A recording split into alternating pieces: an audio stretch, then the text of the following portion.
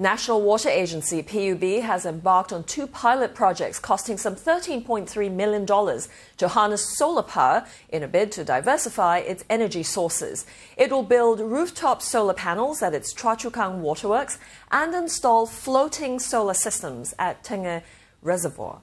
PUB says it will conduct a test bedding study through both the projects to study the cost effectiveness, benefits and limitations of investing in solar power infrastructure.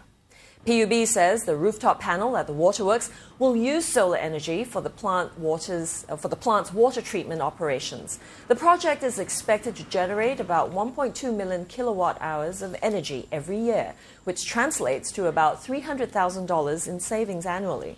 At the Tengeh Reservoir, the solar systems will cover less than 0.5% of the reservoir area, but generate up to 3.3 million kilowatt hours of electricity per annum.